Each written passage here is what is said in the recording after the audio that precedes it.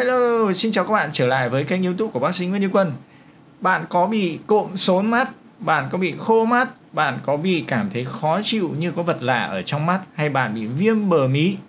Thưa các bạn, nếu các bạn bị một trong những vấn đề nêu trên thì các bạn sẽ cần phải biết cách massage bờ mí như thế nào Thưa các bạn, đây là một trong những cái điều trị hỗ trợ cần thiết nhất mà các bạn cần phải làm ở nhà để phối hợp cùng với các bác sĩ điều trị cho mình bệnh lý viêm bờ mi hoặc là đi kèm với nó chính là khô mắt và việc massage mí mắt như thế nào sẽ được tôi hướng dẫn ngay sau đây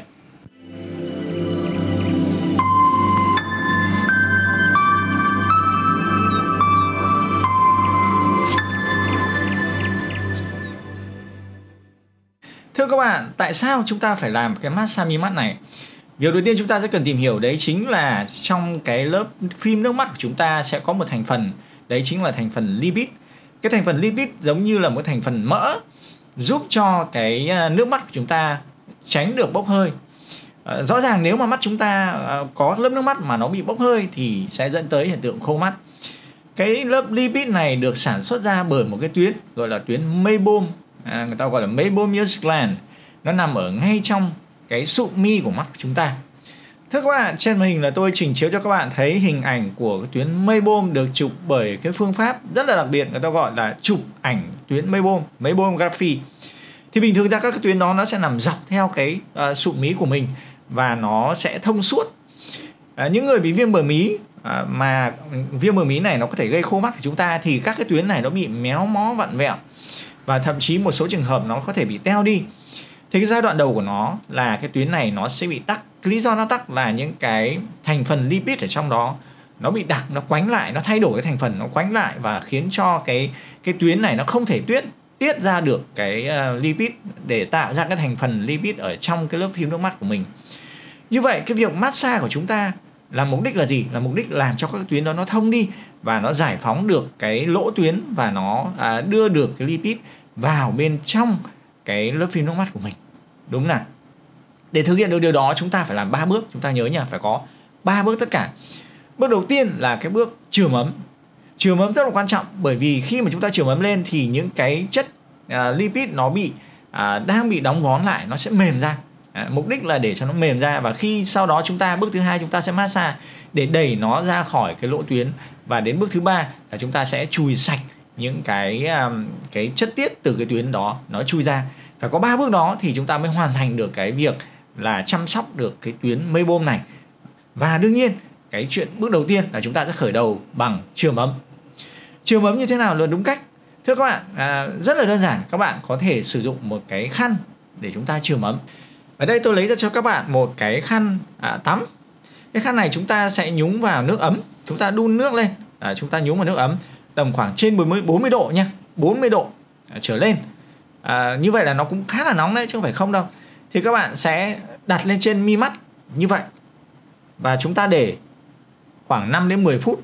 Và đương nhiên nếu các bạn làm hai mắt thì chúng ta sẽ có thể để trên hai mắt của chúng ta. 5 đến 10 phút. Thì đấy là chúng ta có thể à, nhúng vào trong cái nước nóng cái cách thứ hai là chúng ta có thể dùng cái khăn và chúng ta sẽ dùng cái bàn ủi chúng ta ủi lên trên để nó có cái nhiệt độ à, cũng tầm khoảng 40 độ C chúng ta à, để lên trên mắt của chúng ta. Hoặc là các bạn có thể tận dụng cái à, cái trường ấm mà dùng sử dụng thuốc ấy, sử dụng thuốc à, thực vật ấy là người ta có những cái để dùng để massage mắt ấy, người ta trường ống ấm cái con mắt của mình thì chúng ta cũng có thể sử, sử dụng cái dạng massage mắt đó. Hoặc là chúng ta có thể à, À, sử dụng những cái um, trường ấm mà bác sĩ nhãn khoa người ta kê toa. Thì khi kê toa thì uh, nó giống như là một cái kính đeo như vậy và chúng ta sẽ có các cái tấm uh, uh, để đưa vào ở bên trong cái trường ấm đó. Và cái tấm đó khi mà chúng ta sử dụng thì nó sẽ làm tăng nhiệt độ lên. Thì đấy là cái bước đầu tiên chúng ta phải trường ấm. Bước thứ hai là chúng ta mới thực sự là đến cái giai đoạn massage đây. Thì cái massage chúng ta làm một cách đơn giản nhất thì chúng ta sẽ phải làm gì? Chúng ta phải massage mi trên và mi dưới luôn. Thì một cách đơn giản nhất là chúng ta sẽ dùng ngón tay chúng ta cong như vậy để chúng ta ôm sát cái bờ mi mắt của chúng ta cứ vuốt xuống như vậy. À, chúng ta vuốt xuống như vậy ở mi trên và vuốt lên ở mi dưới. Rất là đơn giản. Chúng ta làm như vậy 3 đến 5 phút ở mỗi mắt. Đấy là cách đơn giản nhất. Còn nếu mà chúng ta muốn nó hiệu quả hơn thì chúng ta phải có chiêu trò một tí và chúng ta và tôi sẽ hướng dẫn các bạn cái cách làm chiêu trò à, chúng ta ví dụ tôi tôi phải bỏ kính ra rồi. Thì chúng ta muốn là cái à, cái tuyến đó nó được massage để cho cái tuyến nó thông xuống dưới đúng không? Vậy thì chúng ta ở mi trên à, thế chúng ta sẽ yêu cầu bệnh nhân nhìn xuống dưới và chúng ta kéo cái mi trên lên. Nhìn xuống dưới và kéo mi trên lên. Mục đích là gì? Để cho cái tròng trắng của chúng ta nó làm giống như một cái thớt. Và chúng ta cái mi trên chúng ta sẽ vuốt lên trên cái mi trên để nó ép xuống cái thớt phía dưới để nó vòi được cái cái lipid ở trong cái lỗ tuyến ra à, chúng ta làm mi trên trước thì bệnh nhân nhìn xuống và cái tay này kéo mi trên lên và chúng ta cũng dùng cong ngón tay đó chúng ta vuốt dọc xuống. À, đều đặn như vậy. Chúng ta làm ở giữa này rồi góc trong rồi góc ngoài đầy đủ. Rồi tương tự như vậy đối với cái mi dưới của chúng ta thì chúng ta sẽ làm chuyện gì? Chúng ta nhìn lên trên để mục đích là gì? Nó lộ cái lòng trắng ra cái củng mạc đó. Lộ cái lòng trắng ra và chúng ta kéo mi dưới xuống. Và chúng ta vuốt lên vuốt lên vuốt lên. Chúng ta nhớ là chúng ta phải vuốt à, không những là ở giữa này mà ở các cái góc trong. Các góc trong chúng ta cũng phải vuốt để cho cái tuyến nó được thông. Đấy. À, còn trong trường hợp mà thấy khó quá làm khó quá thì thôi cứ cong vòng ngón tay này lại vuốt. Vuốt xuống. Làm từ 3 năm phút rồi đây thì vuốt lên. À, vuốt lên khi mình vuốt lên thì mình mình mình nhớ này dùng ngón tay chúng ta. Miết tròn miết tròn như thế này. À, để cho cái à, để chúng ta dễ thực hiện hơn bởi vì cái mi dưới nó ngắn hơn mi trên mà. Thì đấy là cái bước thứ hai là chúng ta massage cái tuyến bờ mi. Đến cái bước thứ ba là chúng ta phải rửa sạch cái tuyến bờ mi đi. À, thì rõ ràng khi mà chúng ta ép như vậy thì các cái chất tiết lipid nó sẽ chui ra khỏi lỗ ống. Và như bây giờ chúng ta sẽ phải chùi sạch cái lỗ ống nó đi. À, thì bằng cách nào? Chúng ta có thể sử dụng cái à, à, chúng, chúng ta biết cái dơ lưỡi của trẻ em không? Chúng ta đeo vào cái ngón tay như vậy. Và chúng ta sẽ nhúng vào một cái dung dịch à, để rửa. Nếu các bạn không có dung dịch rửa thì chúng ta hoàn toàn có thể sử dụng nước sạch. À, còn nếu không đấy à, bác sĩ có thể kê toa cho các bạn cái dung dịch rửa riêng để dành cho cái việc này. Còn nếu không có nữa đó thì chúng ta sẽ sử dụng cái à, xà xà bông gội đầu của trẻ em Johnson Johnson ấy. 100 ml nước bạn nhỏ hai giọt vô chúng ta hòa loãng. Mục đích để chúng ta có cái nước rửa Johnson Johnson hoặc là cái nước rửa mắt mà bác sĩ kê toa để làm gì? Để nó có thể rửa sạch cái lớp lipid à, váng dầu. À, còn nếu mà không có thì chúng ta sử dụng nước nhưng mà rõ ràng nếu chúng ta dùng nước thì nó sẽ không rửa được cái váng dầu sạch như là chúng ta sử dụng xà bông hoặc là cái dung dụ dung dịch mà rửa đặc biệt. Còn tại sao phải sử dụng Johnson Johnson tại vì sao? Xà bông cho trẻ em thì nó không cay mắt cho nên vào trong mắt nó không cay đúng không nào? Thì chúng ta sẽ dùng cái dơ lưỡi của trẻ em để chúng ta à, rửa sạch cái cái lỗ tuyến đi. Thì một cách rất đơn giản thôi ở cái mi dưới này các bạn ấn nhẹ một cái vào thì nó sẽ hở cái cái uh, lỗ tuyến ra. Thì các bạn chỉ cần quẹt cái ngay dưới chân lông mi chúng ta rửa cho sạch. Ở mi dưới. Cũng như ở mi trên chúng ta cũng kéo nhẹ lên trên này để nó hất cái lông mi lên và chúng ta sẽ uh, sử dụng cái uh, cái cái dơ lưỡi của trẻ em đó chúng ta rửa sạch.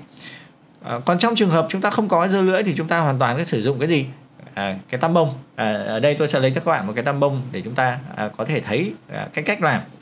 Ở đây các bạn có thể thấy cả, ta có cái tăm bông và như vậy thì chúng ta hoàn toàn có thể là à, rửa cái cái chân lông mi. À, ở đây tôi không làm tại vì bạn biết tại sao tôi nhìn vào camera tôi làm tôi sẽ chọt mắt tôi mất. Cho nên là ừ, cái camera này nó à, không có à, cái cái gương một cách hoàn toàn ở phía trước để cho tôi có thể à, quẹt cho nó chính xác. Còn các bạn nhìn vào trong gương các bạn hoàn toàn có thể làm được. Rồi thế thì sau khi chúng ta làm bước thứ ba là chúng ta rửa sạch xong thì một số cái trường hợp thì bác sĩ sẽ chỉ định cho các bạn là à, bôi thuốc. Thì cũng rất là đơn giản à, bôi thuốc vào ngay cái chân lông mi thì các bạn có thể à, dùng cái thuốc mỡ chúng ta cho vào đây và chúng ta quẹt lên chân con lông mi là chúng ta hoàn tất cái quá trình thực hiện này. À, chúng ta nhớ là chúng ta sẽ có 10 phút trường ấm này 2 đến 5 phút 3 đến 5 phút để chúng ta ờ, massage tuyến bờ mi và sau đó chúng ta rửa sạch là chúng ta hoàn thành cái chu trình là massage trường ấm và làm sạch của bờ mi. Đây là một cái điều trị hỗ trợ rất là quan trọng ờ, khi mà các các bạn điều trị viêm viêm bờ mí hoặc là khô mắt. À, vâng thưa các bạn, như vậy là tôi đã trao đổi xong với các bạn về cách massage mắt, cách trường ấm rồi cách làm sạch bờ mi để hỗ trợ điều trị trong khô mắt và viêm bờ mí. Nếu các bạn thấy thông tin hữu ích thì các bạn đừng quên like, share, subscribe và tôi xin hẹn gặp lại các bạn trong video kế tiếp. Goodbye for now.